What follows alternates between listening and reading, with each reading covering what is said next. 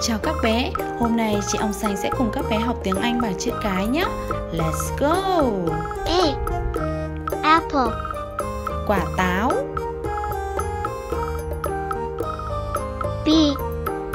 Banana. Quả chuối C. Corn. Bắp ngô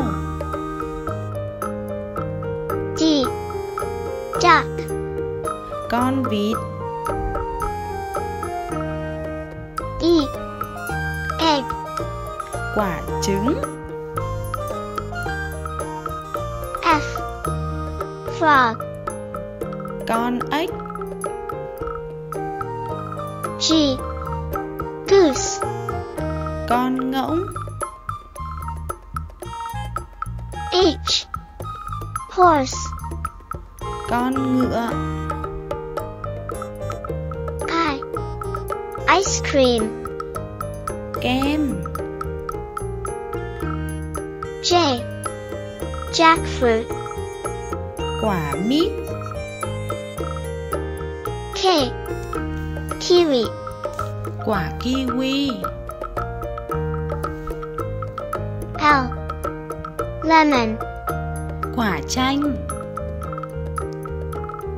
M. Mango. กว่าควา pen notebook กโสไต้ oh orange กว่าก้าม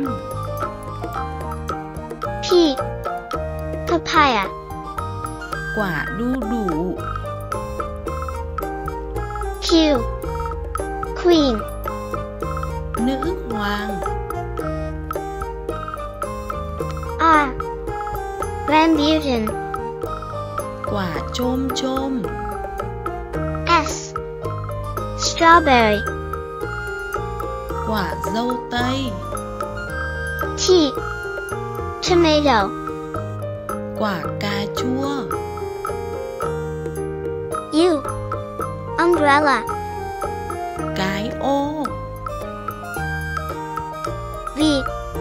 Violin. Đàn violon W. Watermelon. Quả dưa hấu X. Xylophone. Xylophone Y. Yo-yo. Yo-yo Z. Zebra. Con ngựa vằn